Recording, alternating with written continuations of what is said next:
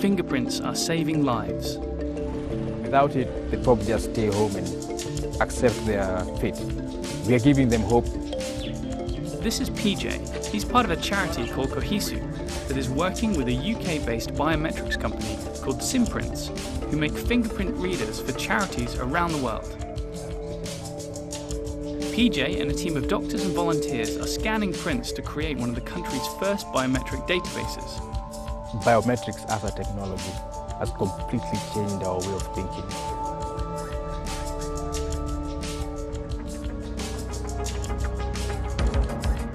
4,000 miles away in London, that same tech is being used to unlock phones and authorise payments for coffees, groceries, even that sweet and sour chicken you've been craving all day.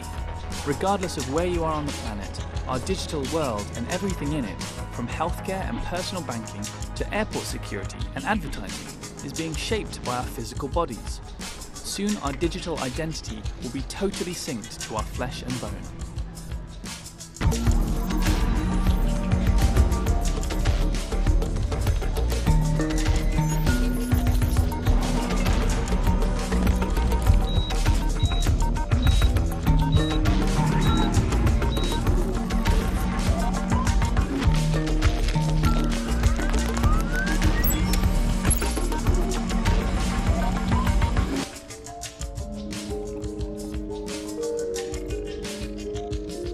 Think of biometrics, we think about complicated things like minority report and scanning people in crowds, but we all have this technology in our pockets. Every time you open your phone, it's a biometric print, it's your fingerprint. When you're going to the airport, you get scans of faces, or with technology like the Samsung phones and, and iPhones, it's facial recognition. It's everywhere. This is Natalie. She's a tech psychologist living in Barcelona. I am actually a massive sci-fi fan. I love Star Trek, have done since I was a kid. But in all of these sci-fis, not all of them, but many of them, we have this kind of very rosy view of what humanity is capable of. Thank you, Natalie. In Futureville, things indeed are rosy. Take a look at Isabel. She's just moved here. She doesn't need credit cards, ID, or even car keys, because Futureville knows exactly who she is. Welcome, Isabel. You look well rested today. Want to go to your favourite shopping mall? Yes, please, Henry. Shopping is easier than ever. Hi, Isabel. Check out all of these items that fit your size and taste. I'll take all of them. Thank you, Isabel. We've debited your account. Your purchases are waiting in your car. Everything is catered to your needs, especially your health. Welcome, Isabel. We've got a coffee for you. You're about to get tired. Here's your special menu. All dairy and nut dishes have been removed, so every option is safe. Come to Futureville, where life is easy. Futureville is still a little way off. At the moment, we're still experimenting with what biometrics work and what don't. Almost anything that you can measure about a person has probably been proposed as a potential biometric technology, like thumping somebody's head and listening to the acoustical resonances of their cranium, like watermelon thumping, and body odor. It's quite a ridiculous list, actually. This is John Daugman. I'm the inventor of iris recognition. The encoding of an iris code from an iris image is a, a very mathematical process. You can represent it as a two-dimensional barcode. So in that respect, it's like DNA. And that is pretty much how all biometrics work. You simply turn a body part into a code that can be read. And the human body is a vast cosmos of untapped signatures waiting to be read, each more secure than the last. Today, the race is on to take these biometrics to the next level, so much so that the US Department of Defense spent 3.5 billion on biometrics between 2007 and 2015. Part of that future is being made throughout the UK. This is Alan Foreman. He and his company B-Secur are working on tech that will allow you to use your heartbeat to unlock and start cars. Traditionally, uh, when we logged into PCs or phones, we used pins or passwords, and that is something that you know, what you know. Uh, we moved to fingerprint, to voice, etc., which is something you have. Uh, but the world is now looking beyond that to something that you are. You're using your heartbeat. And that's a very, very, very powerful biometric. I was authenticated within about one heartbeat. Uh, we can see who it is, where they are, and how well they are. The science behind it has been known for many, many years in the health sphere where medics have understood that everyone's heartbeat is slightly different. It's only now that in the generation where we can compute things on high volume very quickly, and really we've just converted this into the world of consumer electronics. So imagine when you walk up to the car, you touch on the, the, screen and it lets you in. You don't need keys, you don't need any other technology on you. You simply touch the glass and it knows who you are. On the other side of the Irish Sea, a lab in Bristol has partnered with an American corporation to experiment with replacing turnstiles on the London Metro with facial recognition. Rather than having to carry a card around and memorise pins, which is quite a lot of trouble, you just simply present your face. This is Professor Smith at the Bristol Robotics Lab.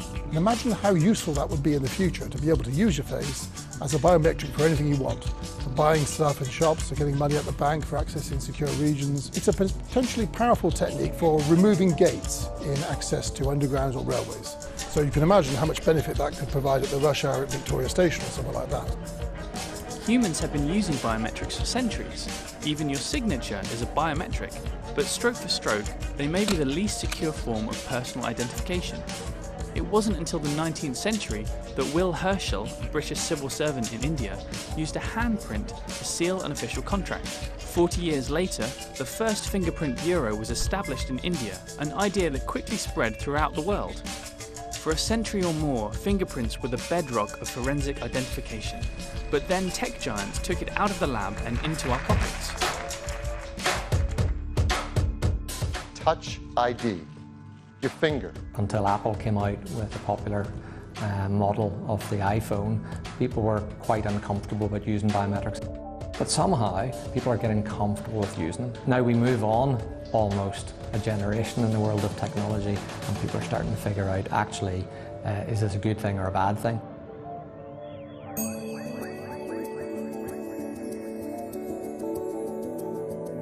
Today, even healthcare systems around the world are using prints to register patients. There are 1.1 billion people worldwide that have no form of official identification, such as passport, birth certificate, you know, any sort of government ID which makes them actually invisible in the eyes of the world. This is Alexandra, the co-founder of Simprints, a startup that is using biometrics to help people get access to healthcare. So Simprints is trying to provide this identity um, to people in developing countries that don't have um, these official identification documents. This is one of the great advantages of biometrics. Like other techs, such as the cell phone, fingerprinting is allowing people in poorer communities to leapfrog older tech. What happens is, from his logs, I can tell already he has five entries, meaning five treatment cycles. The biometric technology is enabling um, a lot of charities and organizations to leapfrog a computer-based system and go straight from a paper-based system to a mobile system. Fingerprint identity had always been something we wondered whether it was possible. We didn't realize the technology actually existed. With the ability to now focus on specific children based on fingerprints, when you talk of uh, how much impact you have in terms of how many children are healing, you knew where and where it was not happening. Biometrics are touted as the next step in security, the new way to protect ourselves in a digital world. But just like a password can be hacked, so too can our bodies if this data is precisely that, if it's data, then it is at the end of the day ones and zeros, and it's something which can be hacked. And that means if your body can be hacked, we are looking at a very different kind of future. Here in the future, we don't have wallets, but we do have thieves. Using sophisticated microphones, these villains are now stealing the sound of your heartbeat to break into your bank account. Stay vigilant. Keep your beat safe.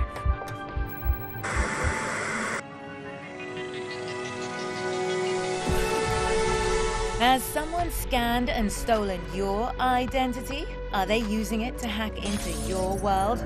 Here at New Eyes, we have the solution. New Eyes. Identity surgery may cause irreversible damage to your eyes, including loss of vision, short-sightedness, and total blindness.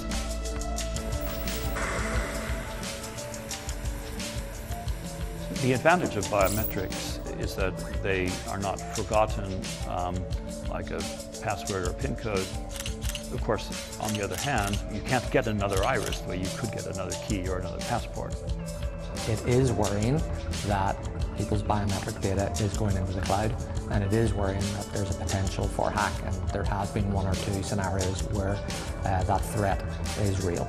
Point is that you are handing over data that you have taken of yourself, which is intimate, and we're doing it willingly.